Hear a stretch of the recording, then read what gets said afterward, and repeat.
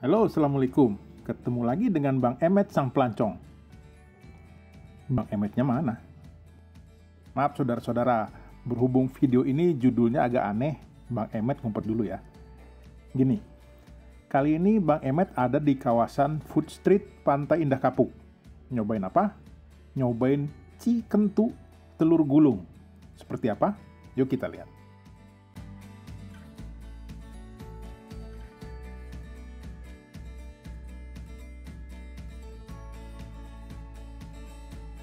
Ada banyak banget jajanan di sini.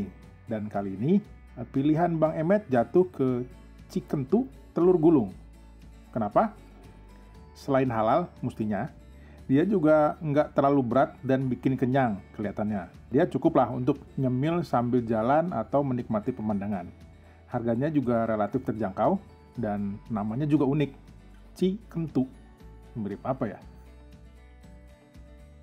Setelah menunggu antrian yang cukup panjang, akhirnya jadilah hidangan yang Bang Emet pesan. Berikut ini penampilannya. Dari sisi penampakan, chicken telur gulung ini kelihatan unik dan menggiurkan. Telurnya ditempatkan dalam gulungan tusuk sate, persis sate biasa. Bedanya, ini telur yang digoreng dan digulung di tusuk satenya.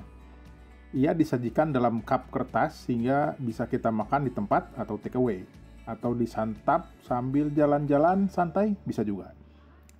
Dari sisi porsi, namanya untuk cemilan, chicken tu telur gulung ini ya cukuplah.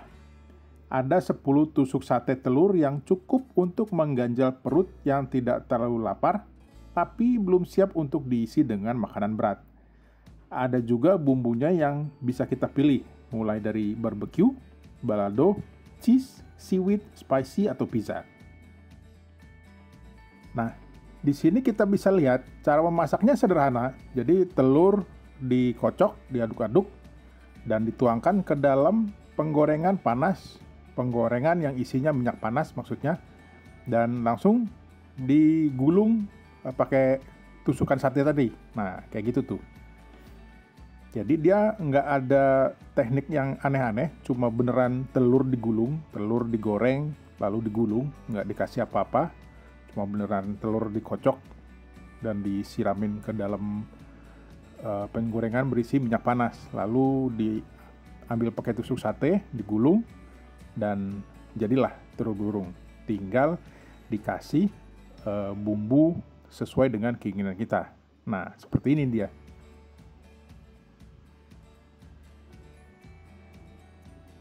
Kalau sudah selesai digoreng ditaruh di, di tempatnya lalu ditaruh di gelas. Setelah itu baru kita pilih uh, spice atau bumbu penyedapnya, mau rasa apa kita bisa pilih. Dan langsung kita bayar dan langsung kita bisa nikmati.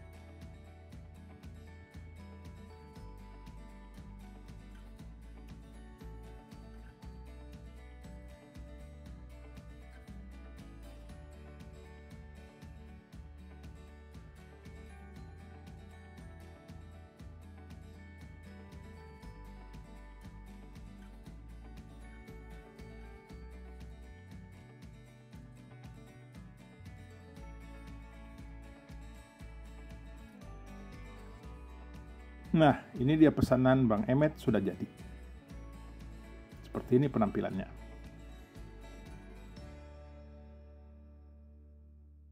Nah, bagaimana rasanya? Nah, sekarang kita coba kayak apa rasanya chicken tu telur gulung original. Ini bentuknya kayak gini. Kelihatannya sih enak.